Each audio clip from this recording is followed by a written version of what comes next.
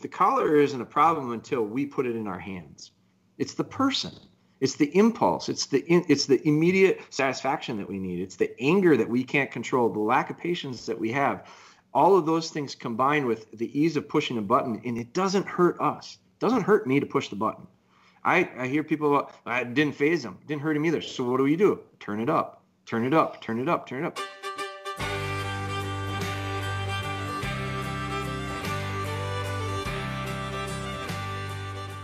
Jeremy Moore, welcome back to Sporting Dog Talk. How are you, buddy? I'm doing really well. Thank you for having me. It feels kind of dumb to be doing this on uh, over Skype like we do a lot of our interviews when we should be getting together in person here and hunting some grouse and woodcock soon. But maybe we'll do that and do a uh, bonus episode from the field here soon, huh? I I would like that a lot. I'll hold you to it. Yeah, we, we need to do that. By by everything I've seen and everybody I'm talking to, it seems like the bird numbers are really good this year. I agree. I, I was up. Um, I spent the last couple weekends up up by our place and just walking and and moving. Move, I moved quite a few birds, and the good part about it was I I found some good broods. Like I had one brood that was ten plus birds. So if they made it, I'm assuming other ones did. I've had a lot of little groups, three four birds, but um, and quite a few singles actually. But um, it was nice to see that big big group of birds. Yeah, it's. uh you know, it's totally anecdotal, but I, have kind of seen the same thing. I've been in, in northern Wisconsin quite a bit, scouting deer and wandering around, seen a lot of grouse, been flushing woodcock in random places. And then I was just out in uh, North Dakota hunting whitetails, and I saw a lot of young pheasants, saw some young sharptails. The the elk population looked good, the whitetail population looked good, mule deer, everything looked like it had pulled off. Uh, a lot of youngsters this year. So yeah. I'm, I'm cautiously optimistic that this is going to be a, an awesome fall. Totally, and I, I agree. I when the word optimistic, I think is something that's important. Like a today, I think optimism is good regardless of what you're talking about. But um, you know, I I just think that you hear people talk about coming into seasons if it's going to be good or bad season based on whatever data they've got. I look at it and I go, man, if that's what's dictating whether or not I'm going to go in the field, it's you know, I almost don't mind people saying there aren't a lot of birds or there isn't a lot of deer this year, or whatever it is, because I feel like there's so many people that just don't go then. And I, all of a sudden, you know, even a, if it is down, I don't know that, that we really know, but even if it is down, it could be a, it could be just fine anyway. I mean, it's so spotty. You know how it is. Like yeah. I can walk one spot and not find birds. I can walk 40 acres over from it and it's full of birds. Well, if I didn't walk that 40 that was full of birds, I'd say there were no birds there. Yeah. Well, and you know, using grouse specifically, it's so common for people to hunt the exact same spots everyone else hunts, follow those login roads and send their dog in, you know, 5 yards off the trail, 10 yards off the trail and then talk about how there aren't a lot of birds there. And when you, I'd, I'd love to see a breakdown. I know they've done this in other states with pheasants, but I'd love to see a breakdown if you took maybe like you know three or four sections of public land in northern Wisconsin that's got a few two tracks and login roads through it, and you could see just a time lapse of where the pressure was. I'll bet right. the entirety of the hunting pressure would comprise maybe like two percent of that land. Yeah. You know what I mean? Like, and which it leaves you so much to work with, and so you, sometimes you just it's it's hard this time of year in the you know the early season to get out and go bust brush, but it's it's worth it. Yeah, I agree. I think it's it I don't know what the scene exactly verbatim is, but they talk about like 90% of the fish are in 10% of the water, or whatever. It's connected to structure and all that. I don't think there's anything like it's not like an even spread of animals throughout the landscape, whether it be deer or birds or whatever it is. So, yeah, you know, the easy stuff is the stuff that gets walked the most. The stuff that looks good from the road is the stuff that gets, and no question in my mind that if you impact those areas with pressure from hunting, the animals are going to adjust. And so I think it takes, you know, that, and that's where I, I talk with a lot of buddies that are like really hardcore grouse guys, and they're, you know, they're always talking about how their secret spot. There's so many, they're always losing these secret spots, and they go, man, you stole that secret spot from someone else when you found it. It's not like you discovered it. You're not a, you're not crossing the frontier here. So it's all been found. It's just a matter of how many people are willing to go and do it. You know. Yeah. Well, and when you're when you're talking wild game populations and the the day to day habits of them you know, a, a, good spot today is not good tomorrow. I mean, right. you see this in the whitetail world all the time, and we don't.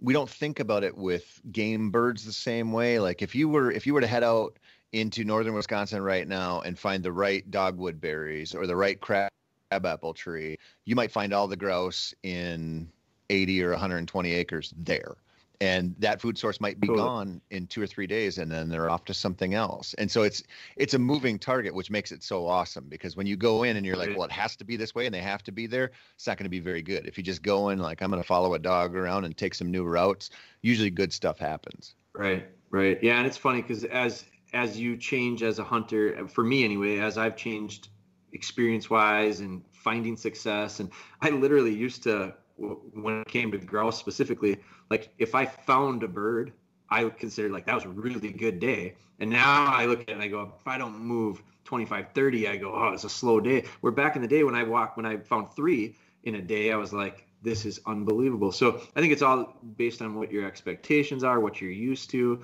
And the reality of it is for me, that it's part of the reason I really have kind of gone back towards, I mean, you kind of sparked the interest for me rekindled that fire a little bit a few years ago when we went bird hunting together.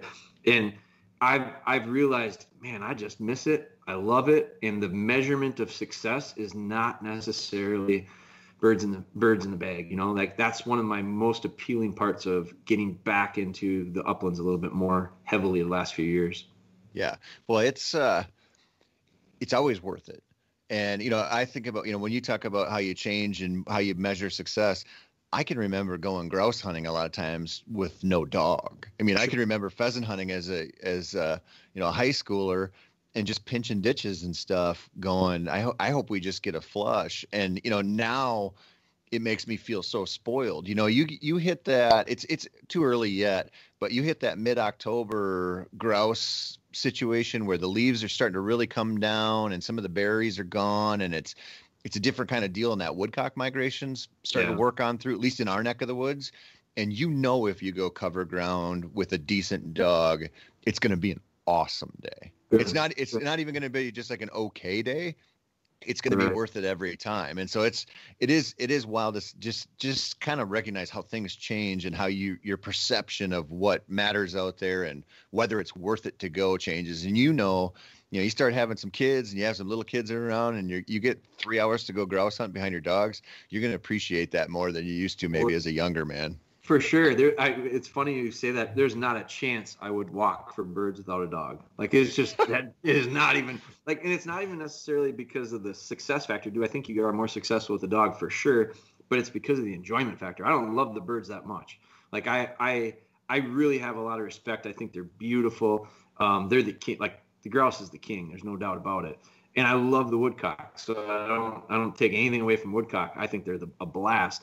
But without a dog, I have zero interest in hunting them. No different than pheasants. I love pheasants.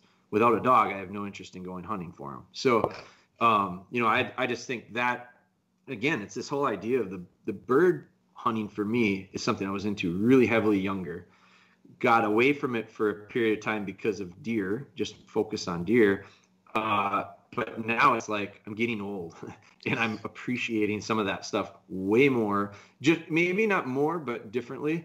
And it's the dog work, it's the guns, it's the the experience, the whole like camp culture part of it is I just I love it.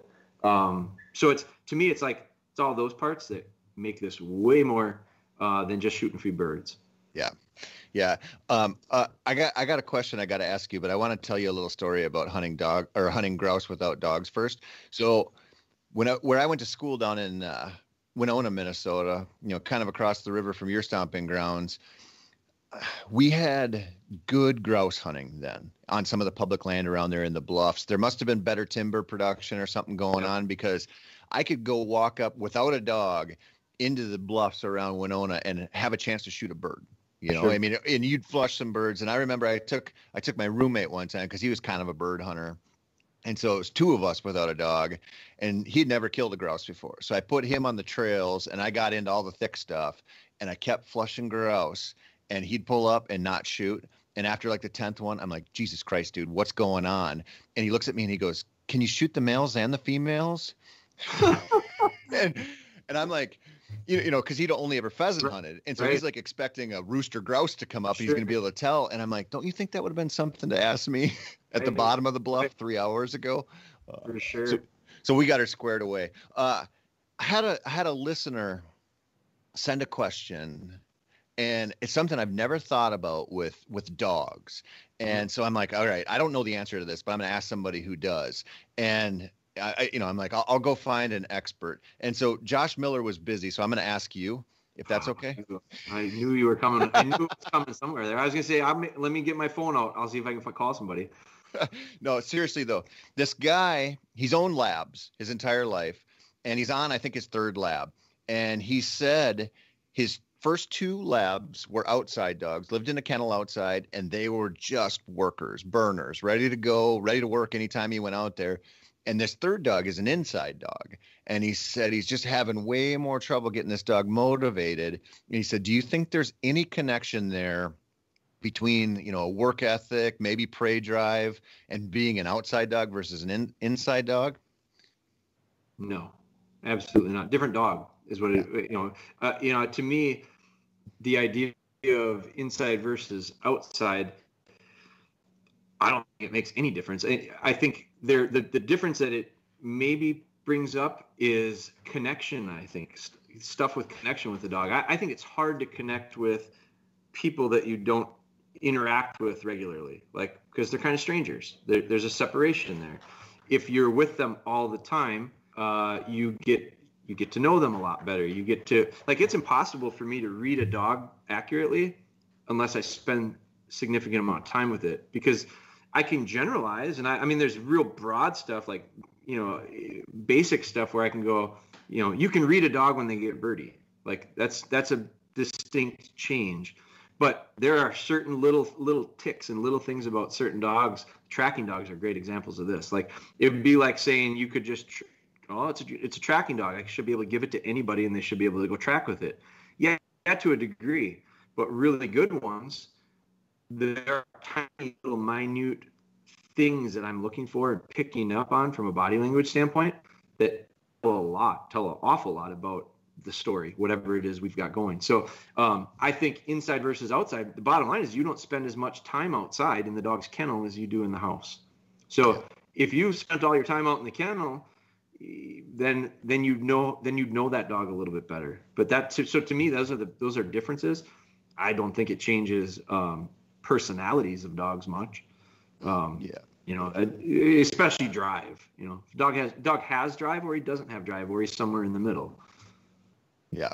Well, I, I, I thought about that when he asked me that from from two different ways because I, I totally agree with you, but I, I thought about it like uh, you know just just as a like maybe a thought exercise are we just spoiling our dogs and taking away a little of that hunt? But i don't see that out of my dog and i don't see that out of a lot of dogs. And the other thing i thought about that i, I keep i keep thinking more about and it, you kind of alluded to there with with game recovery dogs is what are we giving them? So we always think like you know in your example hey let this let this you know deer dog go and it's going to find that that buck that some dude hit in the guts and can't you know can't blood trail it anymore mm-hmm. but you're working that dog on that trail. It's not just let it go and it's it's over deal it's kind of like pheasant hunting like you're working with that dog.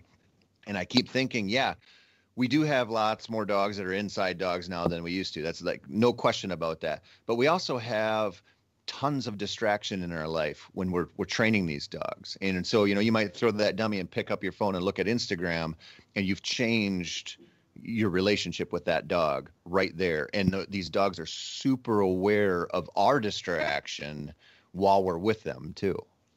Yeah, and that distraction changes us. Like I, I, we we just got done filming a series. Well, we're not done with it. We're in the middle of it actually. We're 100 and, uh, 120 some episodes of it. There's a dog named Bella that we're training. We did this series called Bella Be Good. Kind of partnered with Gundog on it, and um, we wrote. Uh, I just finished the last uh, column for it. So we we've documented this dog's training from about she was about 10 weeks old when I picked her up. Um, she's a little over a year and a half now. This will be her first year that we shoot over her. But when it came with her, when it came to her, Ben, who who works with us here, has been filming it all. So I'm not filming it myself. I've done that before. It's really hard to do. I, I trained a dog and we did it, put it on YouTube, and I, I literally did it with my phone. Um, and so this is a step better in production of it. So Ben's going to film film us doing it. That's our plan. So we've been doing that, and the video, the camera gets in the way. Like Ben, Ben being there to film it gets in the way. It's it has definitely slowed down I think, the overall process with her. Not necessarily in a bad way, but it has, I think, taken away from a little bit of the productivity that me and her have. I think it changed me. I do things differently in front of a camera. I'm worried about the angle. I'm worried about boring the people that are watching it. I'm worried about whether or not Ben is filming the right stuff and capturing. it. Like, so when I'm juggling that ball on top of trying to train a dog, the dog's not getting my full attention. You know, if you're on Instagram and you're looking at something and you find something interesting, dog's not getting your full attention. Dog reads us better than we read them, and the dog goes, maybe I'll give you some of my attention, but I'm not. You're not getting all yours. I don't know that I'm going to give you all mine back. Maybe they go, I think I can get away with something right now because he's busy looking over here. So all of a sudden your timing's no good. Well, if your timing's no good, you don't have a chance.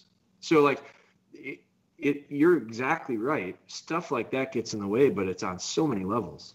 Yeah, well, I think I think we're just biased toward thinking about this stuff as like, okay, is the dog progressing? Is the dog advancing? Is the dog doing what I'm asking? But we don't see it from the dog's perspective of like, yeah, this guy's not really in this. He's not paying attention. I mean, I think about it uh, last year we were down hunting pheasants in southern Minnesota, and there was a group of guys. I think there was four or five of them, kind of walking a line across the CRP, and they had one dog. Every guy in the group had his gun over his shoulder or at his side, not you know not up and maybe ready for a flush. And the one sure. dog was there walking next to the guy at the end, and they were all parallel, all single file. No, there was no hint of body language just looking at them for 20 seconds between man and dog that any of them expected a bird to come up.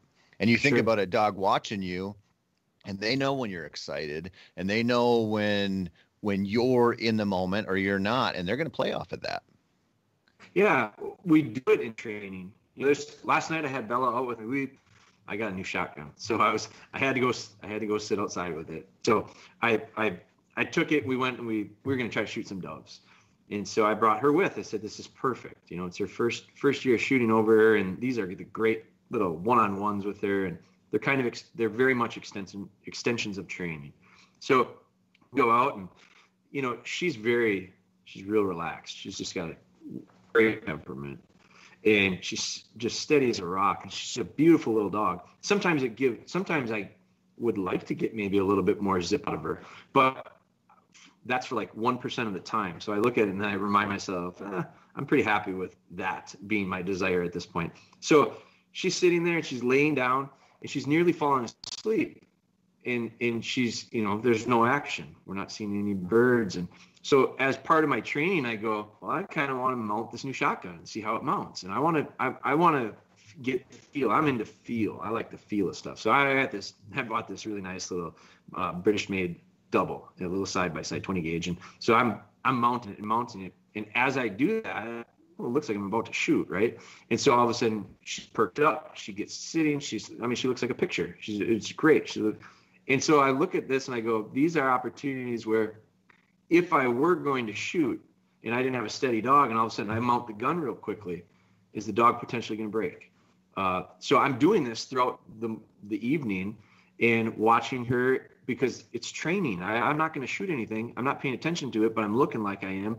And as she gets up and gets attentive, I'm going good, good, easy. And I'm just reassuring to her exactly what I want her to do. And so it's pra- it's this practice replic you know, replicating. I really look at the first year or two as of hunting over these dogs and shooting over them. And I don't shoot over them early. I mean, I a year and a half is about as early as I would take a dog to the field, typically, uh, if they're ready. And so, you know, these first two seasons are going to be really extensions of training. And so it's just the pace that I like to to go about with them. But yeah, so we're just, you know, let's let's turn all these opportunities into training opportunities. Yeah. Build off of what we've done real controlled. I, I was just talking to Tom about that with with young dogs, where especially in the in the the world of duck hunting, which is you know the closest opportunity you're going to get that's not duck hunting is dove hunting because of the steadiness and the the, the style. And he, he was just he brought up you know early season duck, mid season duck, late season duck, and how a lot of people get a rock star early season dog because you got a lot of wood ducks, teal, action, you know, shorter hunts kind of thing. Weather's nice. And then you hit the mid season when the migration might move out, or you know, the locals move out and the migration isn't there yet. And you get these dogs that all of a sudden get bored and realize there's not that much action, or you might get a little flurry at sunrise and that's it. And then by late season, that's affected them enough where they're not as steady as they were and they're not as into it as as they they were in the early season. And a lot of people look at that and go, "Why the hell is my dog slipping now? It was so good six or eight weeks ago."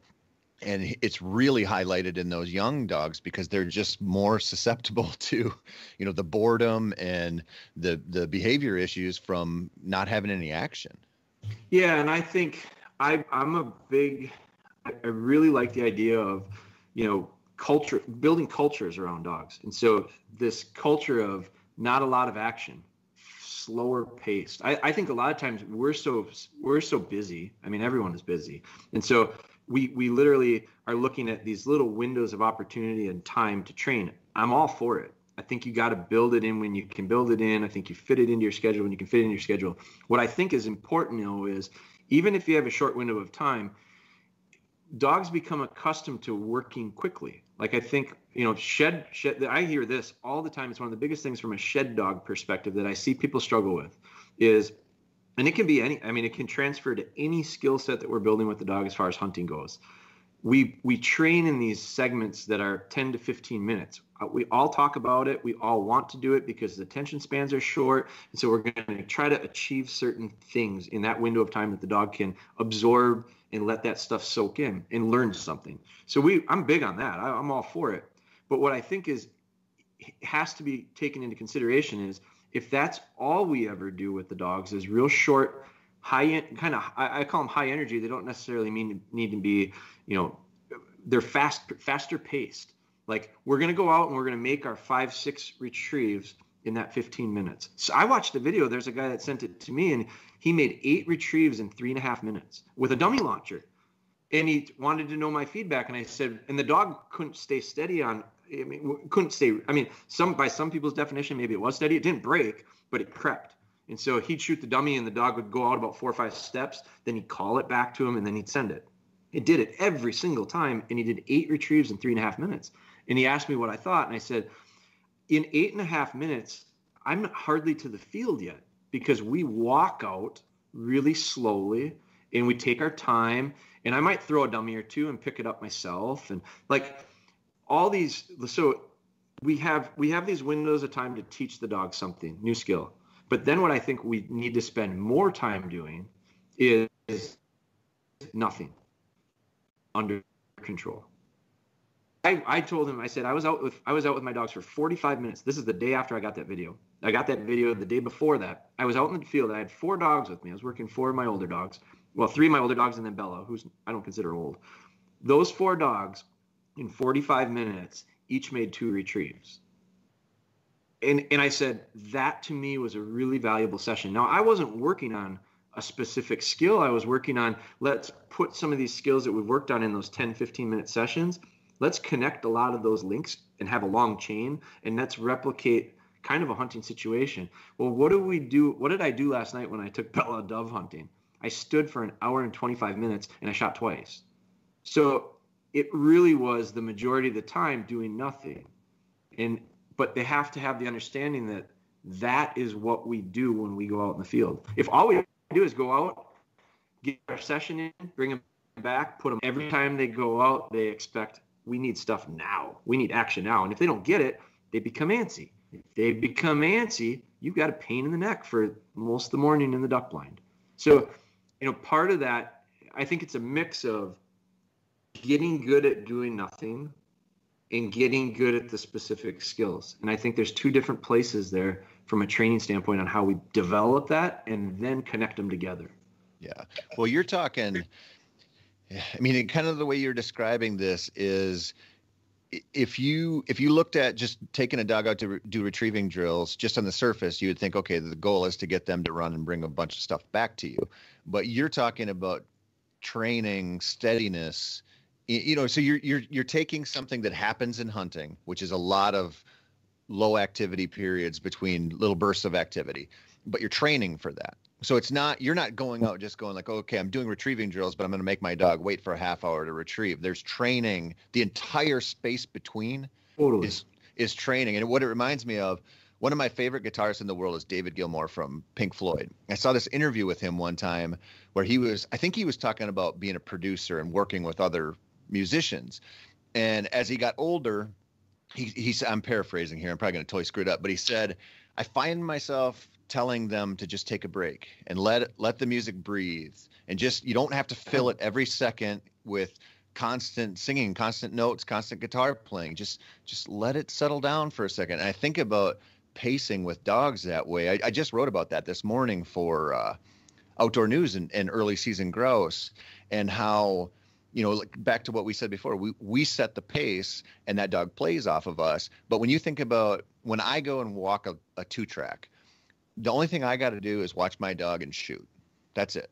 And so, but my dog's job, and and I'm in an easy place to walk generally. My dog's job is to go, you know, pay attention to the wind constantly, no matter which way the trail bends, and work different cover, and figure out where those birds are while paying attention to me and my position. Its job is a lot harder. And so, if I just back off the gas, my dog relaxes and goes, okay, I have time to do my job and pay attention to him, and the whole thing unfolds in, in, at a, in a better way. Right. It's it goes back to this. I I love the I love the way of explaining it being it's just it's a cultural thing. Like it's your environment. It's what you're raised in. And I you know, I see kennels these days um there that are it's a it's become a marketing thing. It's a branding thing. It's a lifestyle thing. Lifestyle images. Like you hear that's a buzzword now. You hear lifestyle images you know content building. Like this is all these, these buzzwords. Well that there's truth to that stuff. Like and if you create this culture and i know i know many people that have done it uh, really successfully. And i've also seen the culture of you know the you you see this cult you see a culture i it's just and i'm not picking out or singling out one or the other but like you you see you see some that represent and, and you and it all starts it's this marketing thing. So it all starts with websites and logo designs and looks and feels of things. And you get this idea of a uh, uh, more relaxed calm um, chilled out real cool like i mean you know, if I'm back in the day, like it's you know, it's like it's like kind of cool. It's it's it's real relaxed. Then you get this high intensity athletic charging, blah blah blah. So, and I, I'm not gonna open the can of worms, but I don't trial. I don't compete with dogs, right? So I have nothing against trialers. I have all the respect in the world. I think it's an Im- immense amount of commitment. Um, it's unbelievable what what I'm not into winning ribbons. Like it's just not my thing some people it, i don't have that competitiveness when it comes to hunting. I'm a i'm really competitive but not when it comes to hunting. And so and not when it comes to my dogs. Like i don't i don't it's not my thing. But you you also see some culture that's driven by like very hard like field trial type feel. Athletic bold hard charging. Like that's a culture and that's a thing and there's nothing wrong with it at all if that's what you're into. That's what you know. Watch the when you watch Super Retriever series and the, all those ones that you know the the stuff that used to be on the ESPN and all that stuff. Like you watch the promos for it. It's fast paced music. It's high driving. It's really fast video. It's showing these poses of dogs just muscular, strong. That's the feel of that world. Then you look at um, you look at guys that you look at are more of like the tradition of hunting. You know, like upland. Upland is upland is this is this is that thing about upland. Like the upland is I'm not saying it's snobby, but it's it's can be a little bit it can be a little bit uppity. You know, it's like like I now there's there's lots of different parts to all of this, but you get this feel of like sitting around a campfire at night, listening to music and the dog's laying by your feet and you know like that's a slow image it's an image of like a real controlled cool environment that's cultural and so when you start talking about the idea of how we're training them it's like i develop dogs range for upland by going for a walk with our baby lillian i put her in the little cart i wheel her down the road and i heel so, and I and I develop dogs. So I hunt I hunt most of my dogs together. I hunt in groups. I don't hunt individual. I, I don't have time to all the hunting I want. So I hunt with them together. So what I'll do a lot of times when I'm grouse hunting is I'll have one or two dogs on heel, off lead, and then I'll have one dog or two dogs out in front quartering. We're working down a, a, a logging road. I'll have two dog two dogs usually is my setup is I'll have two dogs quartering because I can keep my eye on two, and they work really well together and I'll always have the third one with me on heel, and then I'll just switch them. So this one comes in heels for a while, and then this one goes out in quarters with this one, and so I just kind of am rotating them. I've got always got fresh dogs. It works really well for me, but when I'm going for a walk with the baby, which happens regularly, my wife does it every day we are going and we're going down the road and one dog or two dogs are heeling off lead while the other one I allow to go out and quarter. Let it go let quarter down the road. Why not? It runs the ditch, it gets a drink. It, it's not gonna find birds, but it's developing range. And if it gets too far, I call it back. So I get to this point where the dogs get to this point where they check back in and they're coming back in and and they develop I literally I showed on my Instagram story. I'm I'll, I'll joke about saying developing a little range today with Bella she gets out too far, I call her back. Well, I've done that so consistently, and it's a 45 minute to an hour long walk. I mean, we're walking a mile and a half, two miles. So now we're putting a lot of time, some decent amount of distance and exercise for the dog, conditioning a little bit physically. But when I go walking grouse hunting, I don't walk 15 minute walks. I don't take 10 minute walks. I hell, by the time we get out of the truck and get things going, 15, 20 minutes is done already. So if we take the dog out and we take him to a field and we're going to work on quartering drills in a 15, 20 minute session, and then we put him back up, it's not realistic to what we actually do when we hunt. And so I replicate that and build it because I took the dogs for a walk. And I get great heel work with the dogs that are heeling And I can bring it. I can I can tuck a dummy into the cart that Lillian's riding in, and I can make a trailing memory. I've sent dogs on mile long trailing memories.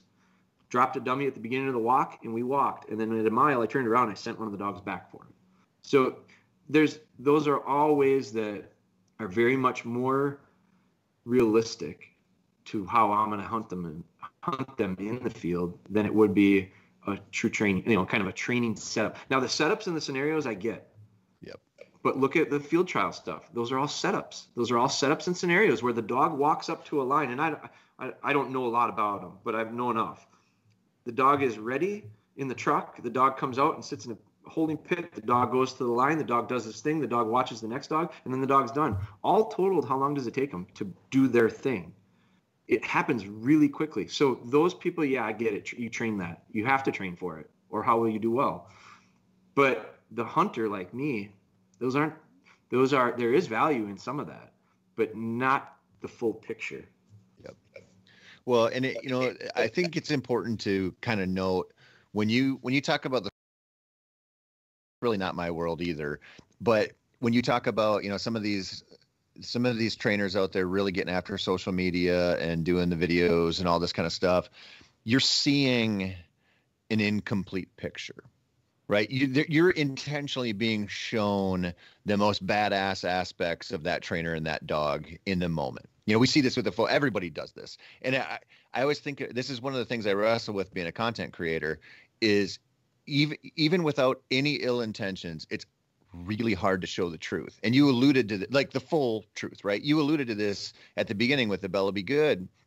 You as a trainer would have a different experience with Bella without a camera there totally. It's already influenced by that. And then if you go into it and you you have this notion like i have to show this dog a certain way you have to make that stuff happen. And so you know i, I just i i always look at that and i go like take all of this stuff with a grain of salt when you're out there you know? And if somebody's if somebody's getting after the social media thing and they're a trainer good for them. But you have to understand they're showing what you, they want you to see, just like everybody else is on social media. And I, I, you know, I just saw a film pop up that a couple of my buddies made from elk season last year.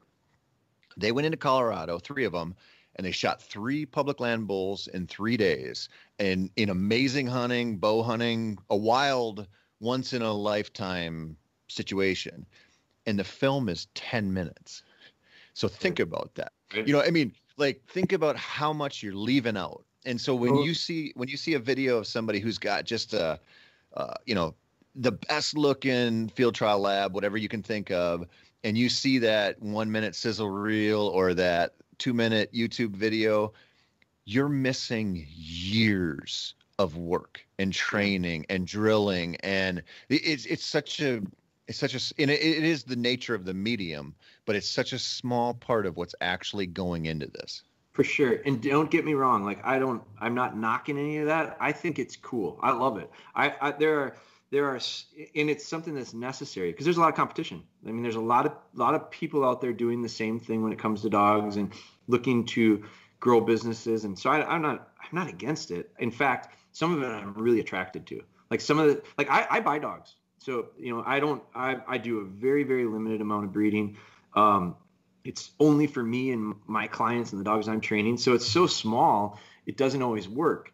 Uh, I'm a so I'm a I'm a customer. So I'm looking at and I'm shopping and I'm watching and I'm looking for the the quality parts of the dogs, but I'm also like there are par- there are reasons and parts that draw me to that. So I'm I'm a fan of it. I, I enjoy it. Um, some of it is more my style. Like I, I laugh about it, and you know, I was I was kind of tripping over it before because I was like, how do you word this? But so some people, some of these, some of the stuff that's out there culturally is really attractive to me. It's really chilled and laid back, and like they're the kind, they're the, it's the picture that I would want to be hanging out in, and I think that's what they try to do. It's that's the group I want to go have beers with. I mean, some of them I think are like the kids that you know, the, it's real relaxed and it's pot smoking music type stuff. You know, it's like it's really cool, like and and chilled out but then some of it is like this intense rock music type feel and that draws certain type of people. The other fields draws and so there's it's what is attractive to you. I love i i'm i'm really drawn to certain styles and i think everybody is. And so the dogs are a style. I mean the lifestyle is part of it the hunt style is part of it and the training style is part of it. Like i've always i've always agreed with and i heard a guy say this on a podcast once um, and he was talking about how lining up the right puppies and matching those three things. Like he, he used a little bit different styles but my for me the value for me is hunt style training style lifestyle. Probably most in sequence the opposite way. It's lifestyle training style hunt style. That's those are the things that i think i prioritize. Um, and the reason I do lifestyle first is because that's what we do the most of. The, the, going back to the idea of the dog inside or outside, the only thing I would say about that is I would never get as much enjoyment out of the dog if it were an outside dog. I wouldn't enjoy it as much. So to me, that's a big driving force in why all my dogs, I've got five dogs right here. I can turn around and look at five different dogs right now. One's a golden retriever, so you don't paint me with the brush of just being labs. But I've got five dogs laying here in my kitchen and living room, and I I get a lot of enjoyment out of getting done with this podcast and typing out some emails and then looking over and then going petting that dog and then coming over here and you know it's I wouldn't have that if they were outside because it's that out of sight out of mind type thing. I th- I'm a big proponent of the idea get as much out of them as you can, and I have a really small amount of time to hunt. So well, training is more important than hunting to me. Yeah, and you being with those dogs in the house, you're training. You're probably finding a hundred opportunities a day to train each one of those dogs that you might not even think about. Like it's just such a natural thing to work in for you. And I want I want to just back up a second because I when you were talking about the field trials, and you know what there there there are some appealing parts to that, and you know some of the breeding that comes out of that. And what I think about that is because that that's like uh, uh, in the dog world that's one of the things i'm least interested in just totally. personally it's it's just not my thing but yeah. at the same time i look at it like tournament fishing where you might just love to go out and fish walleyes or bass on your whatever lake you know your you grew up going up to your grandpa had a cabin on and the thought of competing fishing probably doesn't appeal to you at all. Different world, different kind of thing. But I can guarantee you there's probably things you do when you go out on that lake that came right from people having to figure out how to be better fishermen during tournaments. In the field trial world, I look at that and I go, when you when you're asking these dogs, the same kind of dogs that I love, to do these kind of tasks, the training styles or the or the little, you know, light bulb moments coming out of there or the breeding, you know, directions, that's contributing to the betterment of dogs overall or the betterment of the kind of dogs I like. I think and so I'm like, it's a weird thing to, for, as the host of this podcast, it's a weird thing for me to think about because when I bring in some of these people who are in these worlds that aren't really my thing, I always learn from them, and I always go, they're bringing more to the table. Like we just had this this woman on who runs bear hounds in northern Wisconsin. Mm-hmm. Not my thing. I, I wanted to talk to her because I was interested in the topic, and I leave it and I go, I feel like I know a lot more about dogs and people who love dogs now than I did an hour ago. And I think that's I think it's really important to be open to those things like field trialing or what have you, because there's probably something coming out of there that's gonna that's gonna make your life easier with your dogs. Yeah, there's I think I do think that even if it doesn't interest me, even if it's not my thing, kind of like you're saying, it's not it's not your thing there there are parts of it that are positive for sure. Like um, you know, and I I but I also think it goes back to selecting styles. Field trials create are you know field trials require a certain type of dog to do it. Uh, the abilities have to be there to do certain things. I look at it myself and I go, it's ma- it's matching up the right thing for me. And I like, again, I'm not not I don't want this to sound negative towards field trials because it's not intended to be. But I don't really I'm not really drawn to the style of dog that does really well in a field trial because of the what I do with them. And it's not to say that they're it's 100% one way or the other. It's not. But I don't like to have to put very much pressure on a dog. And so some of the stuff that that the trials are doing, I think go against. I, I really think field trials are great measurements of trainers. Like if you can get if you can get dogs to do that, you're a really good trainer. You you it, it, training that to, to get dogs to do the stuff because a lot of it's not natural. Like most of the stuff, and that's the that's the part that bothers me a little bit about them is I think a lot of it takes away from what I want in a dog from a natural performance standpoint. And so to get dogs to avoid and do certain things to in order to win, I think goes against how I how I actually want the dog to work. Like I don't want I don't want to I don't use collars. Um, I don't want to have to put a collar on a dog. So if and that's not saying that I don't think every dog that works in the trials needs a collar. I I think I really don't think that. Um, but I think that in order for in order for them to do certain things that they need to do in those trials, they probably got to use one because it it goes against what the dog has been built to do. And that you got to remember what the dogs are. I'm listening to a, a if you listen to that podcast, um, Gun, I think it's called Gun Dog Confidential. It's a part of the it's part of like the Project Upland group um, uh, I know what it is, but I haven't listened to it. Really interesting. Like it's it's backgrounds and origins of dogs. And so oh, is that Craig Koshyk a lot of times on there? Yes. Yeah. Yep. So fascinating. And and I love I love it. I just like historical stuff. They're talking a lot about history in it. And so they're talking about the development of the breeds and why. And so the reality is we developed breeds for purpose of hunting. You know, hunting dogs are built to were built to hunt and to help us as hunters in lots of different aspects. The trial system was a way of measuring it and creating standards and, and allowing us to help maybe better the breed from a breeding standpoint and all that. What's changed is what the trials are. And so, you know, the trials today here in the States anyway, I think they I think they required you to be a really good trainer. And you almost train some things out that originally were put into the dogs you tra- you almost train around or that out.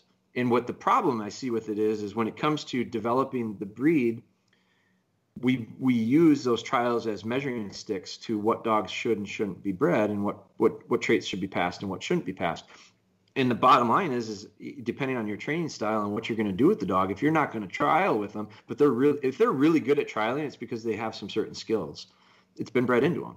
Uh, they've they've leaned a certain way with that style of dog in order to get better. They've improved it towards that game. But if you're not that going to play that game, it's maybe not the best tool. And so I that's the only thing I look at it now that's not to say it's a universal thing that if it's a trial dog, it doesn't hunt. But I know a lot of guys that run really successful dogs in trials and they don't hunt with them. And I look at that, and I, to me, I look at that, I go, man, what a shame. But who am I to say that? You know, if that's what they want to do with them, more power. Like I, I support it 100% because I think it's great to have.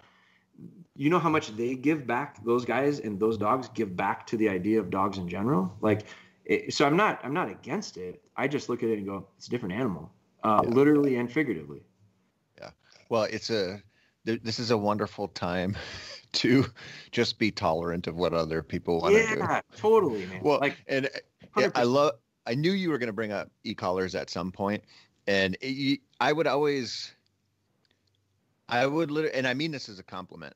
I would say that you might be a one of a kind dog trainer out there. Your your your your philosophy is I don't know if contrarian is the right word because it's I think you follow so many similar paths to other trainers, but you you view the process with a dog differently. And I mean, it probably goes back to your your culture beliefs, but we did a we did a piece for MeatEater. I'm, I'm going somewhere with this. So I did a piece for MeatEater like a year and a half ago, and uh, on e-collars. Are they good or bad? Indifferent. And I interviewed a couple trainers um, on one side, pro e-collar, and then I interviewed you on the other side. And you just you laid it out and said, "Listen, we didn't have these for a long time, and we didn't need them to have amazing dogs. We don't need them now." to have amazing dogs. And it was a very you know, it wasn't like these are torture devices or these are horrible things. It was just like, listen. If you put in the right time and the and the right effort with a good dog, this is not you don't need this. And so be be aware that if you're going to this, why? Like why are you using this to- tool? And holy balls did I get flamed for that article. And I know I know that you got contacted a whole bunch and it was it was yeah. interesting that you can bring up the debate and and have people on both sides saying this is why I love them, this is why I don't use them, and people sure. go nuts over that. Real hot topic. I we we I I mean, I'll put it out there right now. I don't care if you use an e-collar. It doesn't bother me. I don't care. Here's the problem I have because I, uh, let me rephrase that. Uh, the only issue I have with e-collars is when they're used improperly, and I think the majority of the time that's the case. Okay, I'll put it out there. I'm not, and, and, so if you're listening to this and you're offended by that, maybe you're using it properly and you're not the one I'm talking about.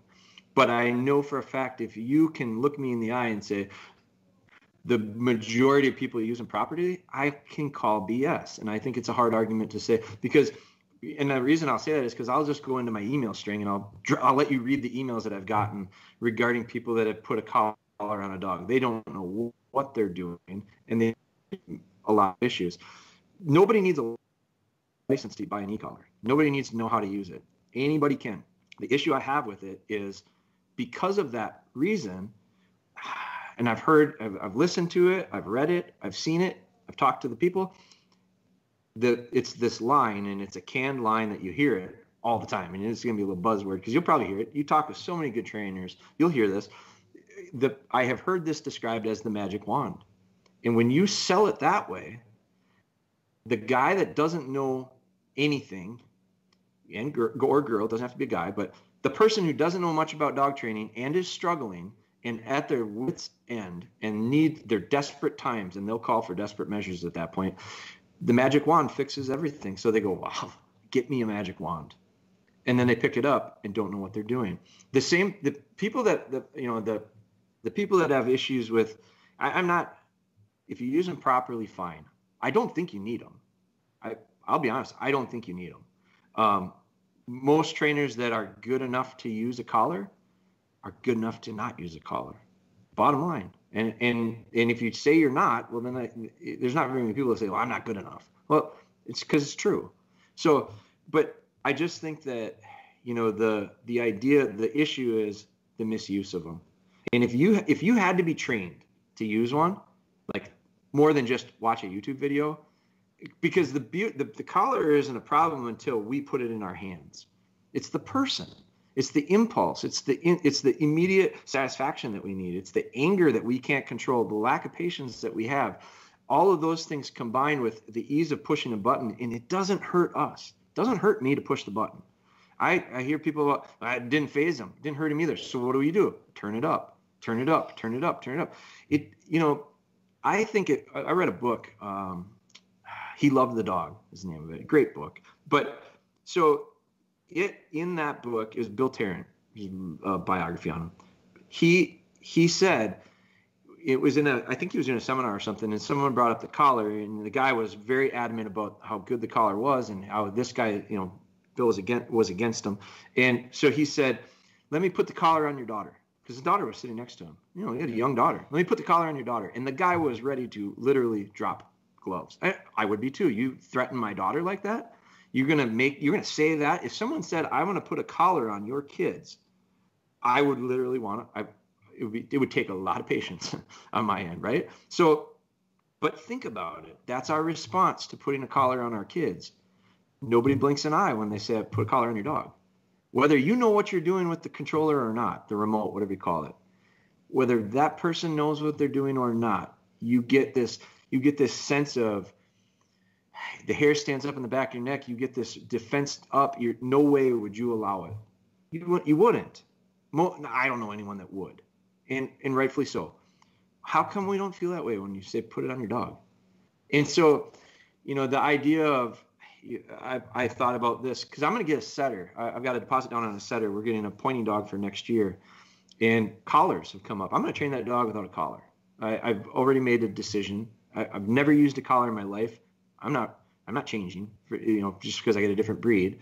But so but I I'm questioning the idea of GPS. You know, do you want a GPS on the dog? Uh, do you want? I, I like the class. I like classic stuff. Here's another reason why I don't like collars. I just bought a. Sh- I just bought. I bought two shotguns in the last year. One's from 1913 and one's from 1957. Like they're they're side by side, considered to be like a vintage double. So are they as good shooting? Are they as well built? Are they have well built? Probably yes. Craftsmanship, probably yes. Made by hand. I mean, they're they're they're literally engraved by hand. There's no. So I look at that and I'm really drawn to it. It's part of the reason I bought them. I could have went out and bought a brand new Beretta, a brand new Satori, a brand new you name whatever. I, I could have brought those for a lot less money, and they probably shoot just as good or better, but that's not what I'm into. So when it comes to the idea of the dogs and the collars, I'm not into dogs. That, I'm not into dogs with collars uh, for for lots of different reasons. But it's part of it. It's my style. It's it's what I enjoy. It's what I like. I love the satisfaction of getting them there without it. it takes me a little longer, no yeah. no doubt about it. But one of the things about training dogs is I I actually really enjoy doing it. So the longer it takes, the more enjoyment I get. Kind of look at it that way. Yeah. Well, you're you're in a place where you're you're putting in the requisite amount of time to get the dogs where you want the dogs. And you know, part of the e-collar thing is it's a promise to short shortcut some of the process. And you know, there, there's an argument for that. There's an argument definitely for the long range range control and safety situations. You know, being able to recall a dog in the right situation if it's running toward a highway or a porcupine or something. But it's it's interesting to hear you talk about it because you're definitely in the minority on that opinion. But it's kind of kind of where I fall on a lot of stuff too. Is I I go, man, I, I put in a lot of time in my dog and have control over her in, in a way that makes me very happy, and I don't I don't worry about some of the stuff that would maybe bring that into the equation. And so it's just it's yeah. it's a weird personal thing. I think it's a com- I think it's a, I, I look at it sometimes as a completeness of training. Like if, if is the dog truly trained if he doesn't listen unless he wears the collar? That's that's to me a, a big question. And I I know I talk with a lot of guys that that use collars, and that's fine. Um, but they tell me that they'll you know they're quick to admit it. They'll say you know it's a different dog with the collar on than off. Ab- absolutely, but what's the reason? You know, so so if the dog, I look at it and I go, if the dog, I mean, and I'm and I'm serious about it. When I when people say I'm going to put it on because what if the dog runs away? My answer is we need a better recall. We need to have the dog be able to stop to a whistle in a lot of distracting situations. And if you're not there, like I, I take dogs to the field probably later than than a lot of people do, but the difference is I don't get them into the field as early. But by the time they're say three, four, five years old, and I don't have issues with them. I mean, I enjoy it's it's it's cruise control at that point and and and the accelerator as opposed to you know we get them in the field an extra season or two maybe but we have a lot of issues that we deal with throughout the next 10 years of hunting. And i go yeah let's back up and make sure that we don't go into something too early too soon not ready. You know i, I have i've had people ask me about hunting bella this year at a year and a half. Old she's ready. I, she's not she's not finished by any means. It'll take a couple years to have where I would call her maybe finished, but because there's a lot of experience she's got to see and get. But, but I won't take her into the field. Like it's you know I the the guy that made all those retrieves in that really short period of time that I was talking about earlier. He one of his driving goals was he wanted to get that dog into the field this year for doves and he wanted to run I, I forget what level like a master hunter level something something something he rambled off and i went wow, those are really high aspirations. So just take a step back and think about it now for a second and go, realistically, if though if that's what drives you, or I, I look at it and I go, based on the calendar, you might not if you're not ready to go dove hunting this year, you don't go dove hunting. You give you give that up. I, and there's a guy, a really good friend of mine, that's a really good trainer, and he he's got a, a buddy over in um, he's in Ireland, Northern Ireland, and he said, I come over here to the States and I see you guys, and you guys are way ahead of me at a year old. You guys are way further advanced at a year, even up to like two years. Like you're doing way more stuff. Your dogs are much further along, much better, quite honestly. The difference is when my dog is three, your dog doesn't touch my dog. He's not even in the same room.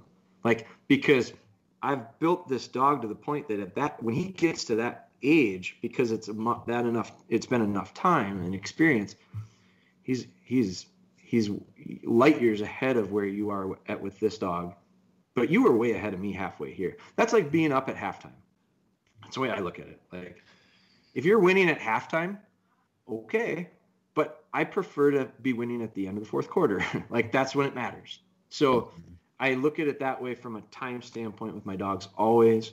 I just think um, I think we can accomplish a lot more by slowing down. And it sounds counterproductive, but um, I, I have to remind myself of it all the time, and I preach it.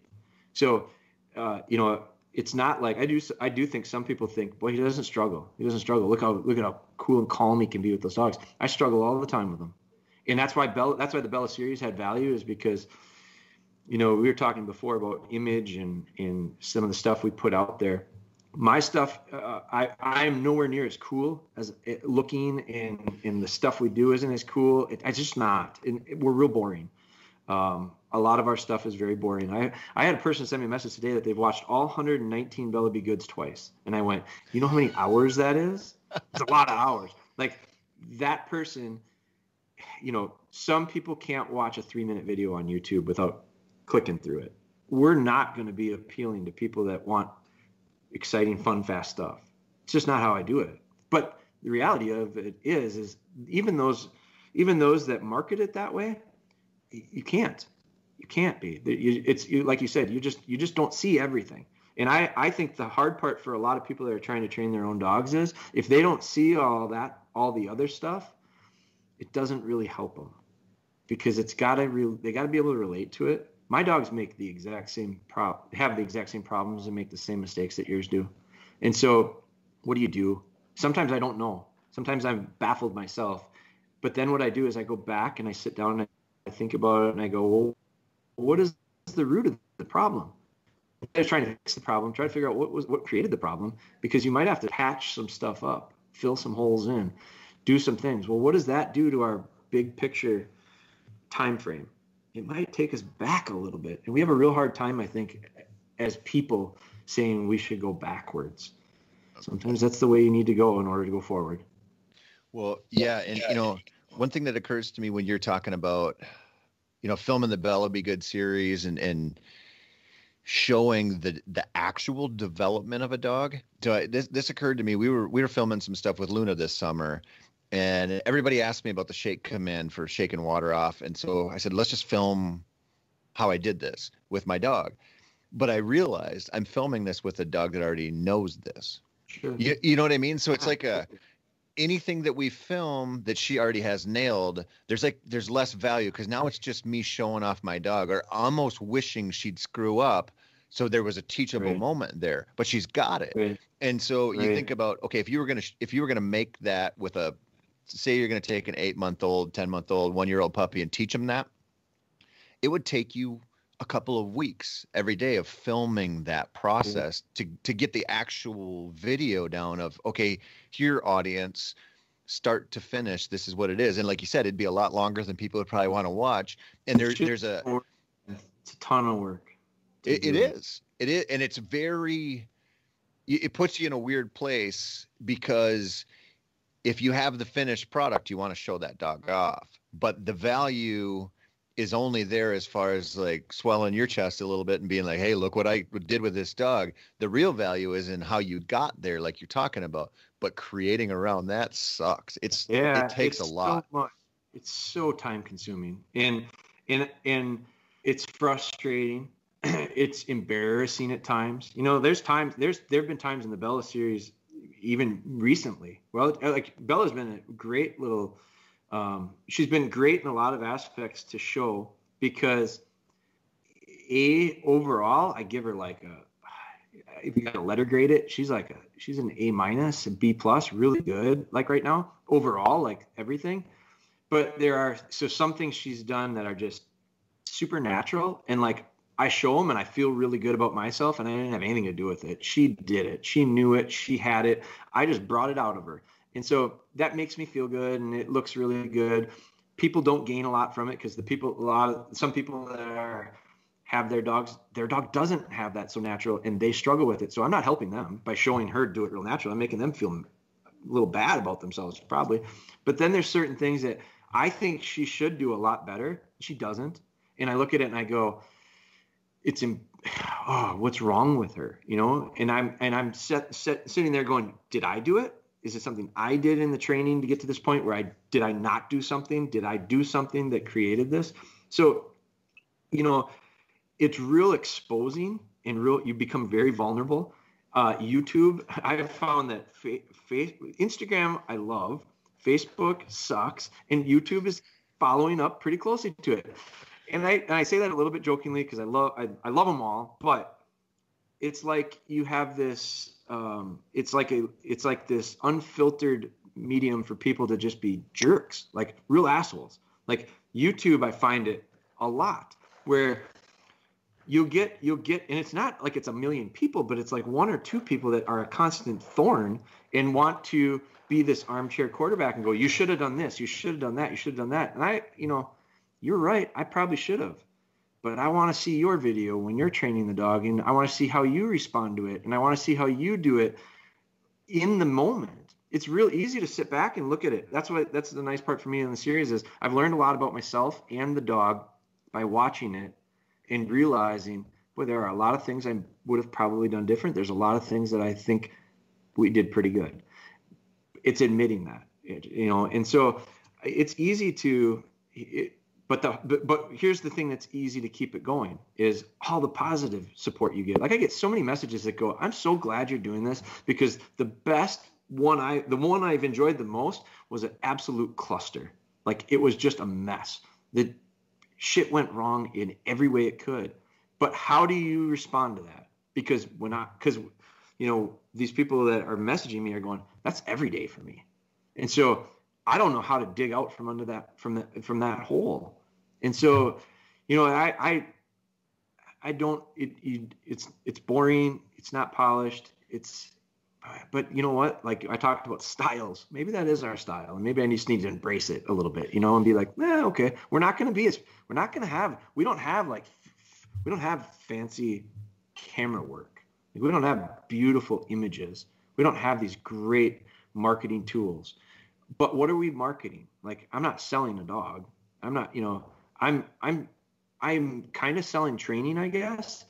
But a lot of it we're just giving it to you anyway. So they're not really selling it. Like you can get as much out of our series on YouTube, our playlists, as you can get out of our formal training videos. We sell a formal training videos, three and a half hours long. You could spend like that guy did 118 videos, watch them twice, and you probably get more out of that than you do with the training video. And that's free. You know, that's on YouTube. I look at it and I go, if we can help people that want to do it themselves, I'm not looking to change anybody's train styles that's set in their ways. If you use a collar, I'm not looking to say you shouldn't use a collar and you should change to my way. No, our way. It's not even my way. It's just a way. But it's for those who are trying to find something that's going to fit for them, for trying to find something that's going to fit for their dog. That's to me, that's where we hopefully are be able to bring some value. Yeah, yeah. It, it, a couple things on that. Don't read the comments. Uh, it's a bad idea. And I I heard a statistic the other day. I think it was for Twitter, where 80% of the comments are generated by 2% of the users. Yeah. And I, am sure that YouTube is of a similar ratio where there's a very small percentage of people out there creating. I mean, it, and I, I know this to be true because I've had people, I, I don't know that to be true. I assume it's true because I've had people send me emails and be like, you should have never said this or you should have never done that. And, or your guest said this and it's totally wrong. And then I'll Google that person and they're out, they're everywhere doing that to everyone. Sure. And I'm like, what's going on in your life? Like, yeah, I, I really, people. I do. It takes me from immediate anger to I go, God, I, I hope you figure out a way to get happy because you're clearly this is not a good hobby. This is not the right. way you want to spend your life. And so it is. It is a.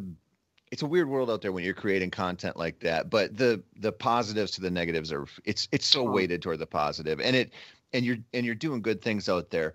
Um, we got to wrap this up, but I got to ask you why why a setter? Why now? Uh, I've never had never had a pointing breed.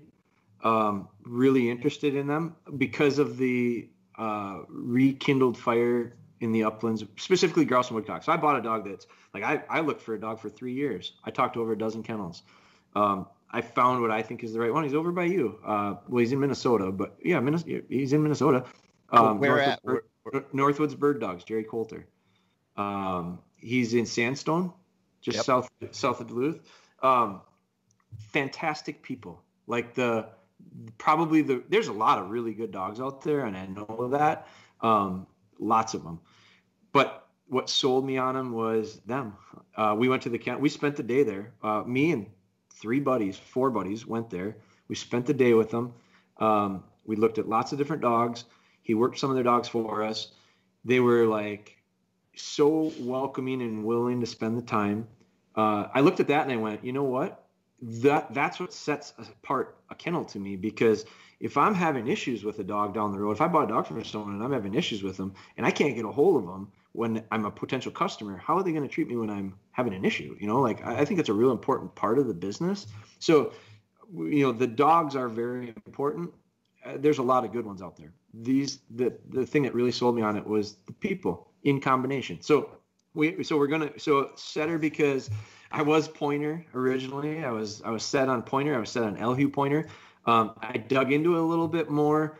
I think for where I hunt and how I hunt and the lifestyle that we're these dogs are going to live in the house with us. And I'm not saying pointers can't and don't. I'm saying the setter, from what I understand, from what I have seen, will fit into our family a little bit better. Will fit into our house a little bit better. Um, I love the classic part of it. I love the idea. Uh, there is a bit of romanticism to hunting over a setter in the Northwoods. Um, with you know, I've, I've got I bought two shotguns. So I bought a Fox Sterlingworth and I bought a Webley and Scott. So I've got a British-made gun and I've got an American gun, and I think they're both super high. We were talking about the quality aspect before, and why do I buy something that's 100 years old or older?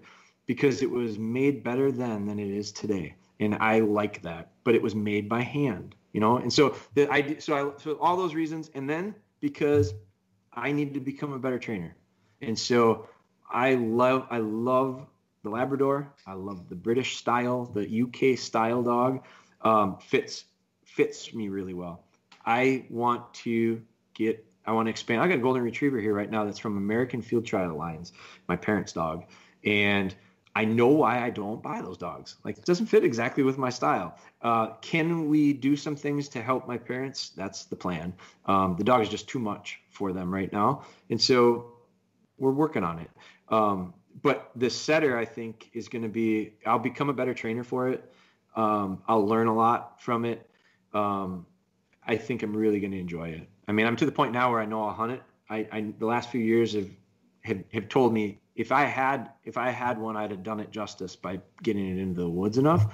So I'm going to work it with our with the Labradors. I'm going to work the dogs to work the labs to heel, work the work the pointing dog, and then I'll use my. I don't care if the dog. I don't care if the setter retrieves or not. I think a lot of them have that natural instinct, particularly um, Jerry's dogs, but uh, I don't care about that part nearly as much. Um, from a retrieving game game finding standpoint, I'm I'm in really good shape with. It. So I'll hunt the dogs together. Yep. Um, I'm ex- I, I, it's it's just another challenge. It's another thing. I've got a lot of buddies that are really excited about it because I told them I'm going to do it without a collar, and they're pointing dog guys, and they said I can't do it. So I'll do it, and uh, I don't know, maybe it won't work out that well, but I got a feeling that it will be just fine, um, and it'll be uh, it'll be a lot of fun. I I, I can't wait. Yeah, it's it's gonna be it's gonna be really neat. You're in a place where that dog is going to have a pretty good life, I think. In, unless some disease comes through and wipes out all the grouse and woodcock, I think that dog's going to be pretty happy in a couple yeah. years. Uh, yeah. Jeremy, thank you so much for coming on. Where can everybody find you out there on social and YouTube and all the good stuff? At Dogbone Hunter. That's all of our social stuff and dogbonehunter.com. So at Dogbone Hunter is the, the easy way to search it.